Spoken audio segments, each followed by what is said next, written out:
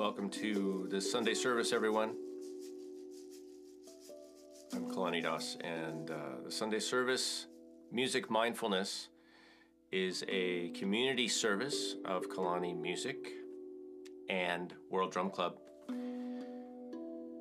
with the purpose of helping, um, helping us, helping you, and our greater global music community uh, to do better and to feel more how you want to feel and be how you want to be in the world.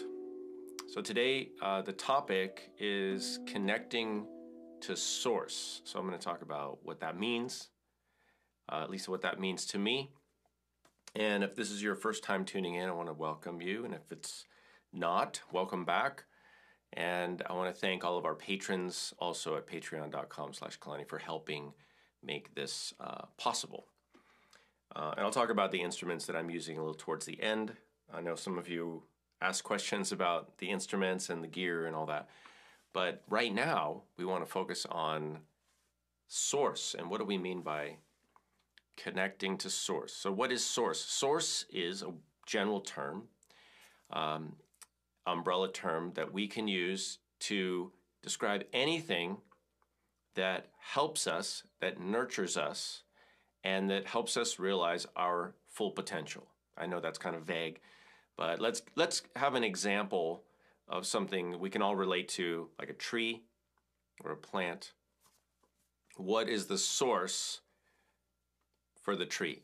Obviously, the earth, the dirt, the nutrients, water, obviously, uh, things in the air, you know, different kinds of elements in the air, sunshine, you know, all of those things. And um, also, not just what goes in uh, to something, we can consider part of the source cycle because we're in a dynamic environment. So, as you know, it's not always about what you put into a system or put what you put into yourself or a tree or whatever. It's also what can move out uh, and through. Like a tree needs you know, some trees need sandy soil. They need to drain the water away. We can't just keep adding things and adding things. It's a system. And so it's equally important what we put in to ourselves, and we'll talk about what kind of source sources that we choose. And, but it's also important what we process through, what we get rid of, what we eliminate. And that's all, that's as far as I'm going to go on that uh, line. But you understand, um, it's not always about adding things. Sometimes it's more about releasing or letting things go. Um, you know, a number of years ago, my father dug a well in his backyard, uh, and he's in an urban environment. He lives in Oakland, California, where I'm from, and he dug a well.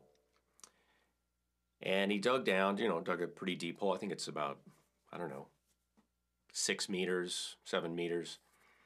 Um, and he got to water, and he said, okay, now that the well is dug, the hole is dug, I need to prime it. I need to open up the what they call tributaries, right? A tributary is a little it start with like like a capillary, very very tiny uh, f- passages that feed everything eventually into the well, and then you can take it out. But in fact, you have to keep taking it out. You have to open it up. So you have to get water out of the well so that it it becomes more functional. It becomes more capable of producing water. And if you stop taking water out of a well, it can actually die. That well could just seal up and become useless. So, the, what's the lesson there? The lesson is you, you have enough, but you've got to process things through. You can't just, you got to move. You got to move things through. How do we do that? With ourselves, of course, you could imagine uh, processing emotions, processing feelings, moving your body, getting things, you know, in and out of yourself. And, um, and that could be at a physical level, of course, with the food we eat, the things we drink, in, out. Um, you can't hold on to that. Becomes toxic. What else can become toxic? Um, things you put in, maybe in your mind, in your head, thoughts, memories. In, things happen, sure, that's fine. And then out. Done. Finished. if you hang on to that stuff, you keep grinding on it, and there's a reason we do that. But if you keep doing that, it can become toxic to you. All right? Emotions, which are a bridge between the body and the mind, feeling states, same thing. You got to work them out. What helps us do that? That's why we're here. because music, music and the arts, sports, dance, you know, all of those things that we do as humans, those are very human things, right, that we've created. Why are they there?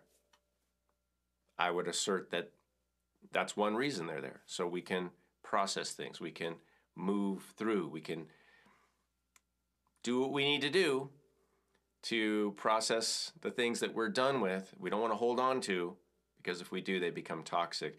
The arts, music, dance, poetry, whatever it is, can be a useful tool in uh, helping move things in, move things out. So, what are the source? What are the types of source for humans? Right? We talked about a tree or plant, but what are the, the categories? Well, let's look at four basic categories. What you put in your body, right? Your food, things that you physically do to put in yourself. Information, ideas, thoughts, uh, which include thoughts about experiences. That's stuff that we put in, right? Memories, you've got a lot of memories. That's all things that happen that, that are now in you. Um, the product of those two things, which, as I, as I talked about uh, a moment ago, emotional, emotional things that that uh, that we have that we experience. You know, emotions are are there to motivate us. Um, they are that kind of bridge between the physical and the intellectual, and maybe even touch on the spiritual. Um, but they too are things that we create, that are created, you know, whether sometimes with our help, sometimes just they happen and they're there. Um, so, emotional realm. And then, of course, finally, you could say the spiritual realm. the things that are less explainable, uh, more intuitive, uh, more at the aesthetic level. Whatever that means for you. When, when we say spiritual, when I say spiritual, I mean anything that relates to that source that moves everything in the universe. That's what I think of. Spirit, spirit means, well, respiration is the animating, that's how we be, become animated. Spirit relates to breath, which is the animating factor, right? We stop. If we stop breathing, we stop living. Um, if somebody is spirited, they are motivated, they're animated. So I, I think of spirit as the animating force in the universe. Uh, without it, if everything stopped, of course, time would stop. Everything stops. Everything dies. So you could say that spirit is the is what is the difference between life and no life. Um, but let's just call it the you know the thing that moves everything, the great force that moves all things. Um, and there's lots of names for that. So those are four four categories. Those are we can think of as you know coming in, right? Those are our tributaries coming into our well. If we are the well, right? What did we what did we learn from digging the well earlier? You can't just put things. Well, you don't put some stuff into a well, but you actually have to take things out for it to work, for it to function. So the idea with connecting to source is yes, connect to good stuff, good food, good information. Focus on healthful, positive emotions. It's not that you can't feel the negative ones. Of course, you want to feel all your emotions. And then on the flip side, make sure that you are letting things move through and not holding on, right? Not holding on to that. So we need to do both. And, you know, physical, you can imagine what you need to do to do that. Uh, emotional or intellectual, uh, let's, let's stick with that for a second. The, the idea of ideas, the intellectual stuff. Um, what are some problems that can come up when we hang on to an idea or we, we think we know something and so then we get stuck with it and we cling to it because maybe we're afraid to not know something. Um, I've talked about this in the Evolve podcast. You know, when we when we say or we think that we know something, we have a tendency to stop um, observing, to stop uh, participating in the moment to moment events of our life because we, we kind of put a check box by that thing. We say, yeah, I know that. I know that. I've been there. Oh, yes, I know that person. Yeah, I know them. I don't need to deal with them. I already know them. I know that place. I know this. I know that. I know this. But you know, all that stuff that we know is old, it's outdated, it's not current. So, knowing things, clinging on to ideas, uh, is something that you need to re-examine. You need to you need to re-examine what you think and what you think you know about the world because you know what the world's changing all the time and you're changing all the time so presence you know experiencing the world is an ongoing process pay attention reconsider question yourself question what others tell you uh, examine the world as it is. Nothing is hidden in the universe, everything's right here for you to experience, examine, see for yourself. You know, it's all here, folks. There's nothing hidden. Uh, just like music, there's nothing hidden in music, it's all there. Okay. Um, on the release side, I think music, like I said, art, music making, ex- anything expressive is there as a tool for you to help. You can process your emotions, physicality, if you need to work it out, dance it out, drum it out. Uh, you can do that. And that's a really positive, constructive way to connect physically, even intellectually, emotionally, for sure, and spiritually. So the arts are the tool we have. That's the main tool that we've developed as humans to help us uh, not just connect with Source, but to release, to pull that water out of the well. So, why? Why do we need to get rid of this stuff? To open up, to open up. It's like, let me give you an example um, kindness. If you are kind to people, do you run out of kindness? I don't want to use up all my all my goodwill on strangers, do I? Uh, what if I run out? what if I run out of love? What if I run out of kindness? Well, you know what? It's like the water in the well. The more you exercise it, the more you take out, the more you put out, the more that comes in. You open it up, you open up the potential. Right? You guys know this. Kindness begets kindness. So that really should be the main takeaway from today. You're not going to run out of kindness. In fact, the opposite will be true if you offer grace, kindness, empathy, love, consideration, goodwill, whatever you want to call it, uh, to others, you will in fact create more of a flow of that and an abundance, not less. So we don't have less water in a well when we pull water out, only momentarily, of course. Uh, but you know what happens? More comes in and more comes in, and that well becomes more functional. It is able to provide more of that resource. All right, so that's the message for today. So connecting to source, yes, choose wisely. Uh, make good choices about the stuff you put into yourself, but also find ways that you can let things go, process, be done with it. Uh, I talked earlier about why we tend to grind on thoughts. You know, why do we keep thinking in the same things. You know, maybe something happened and it's there, it's there every day. We go back to it, we go back to it, we go back to it. And this, the, the simple answer is because our mind um, treats a lot of things like a puzzle. Our minds love to solve puzzles. And when we don't have a clear answer for things, when there isn't a clear solution or reason, we keep looking. We keep thinking that I just need to think about this some more. I need to figure it out. I need to understand. I need to know why. Why did that happen? What's going on? Why did that happen to me? Why did they say that? Why did they do that?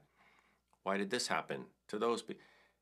Sometimes, you know, a lot of the times things happen, right? But there isn't a clear reason. And if you get stuck, if you if you think there is, then you're you're going to keep trying to solve that puzzle. It's not a puzzle. It's not a, it's not something to be solved. So you need to understand that and just uh, let things be the way they are, you know, accept it and then move on. Because if you don't, uh, you're to, you know, your mind's to keep trying to solve that and it's just not, it's not to, it's not solvable. There's, you may never be satisfied. Um, so if you think there's a there's an answer, you can figure it out. That is kind of the first problem. Uh, so don't get caught up in that trying to but your mind's going to want to go there because your mind loves to solve puzzles. That's good at that, right? So just know that that your mind is going to want to take you there to try to figure it out, get the answer, solve the riddle, understand why. Um, and uh, it's up to you to manage that tendency and to be a little bit higher up in, in the management and know that your brain, your mind is going to probably want to do that and uh, just expect that and say it's okay.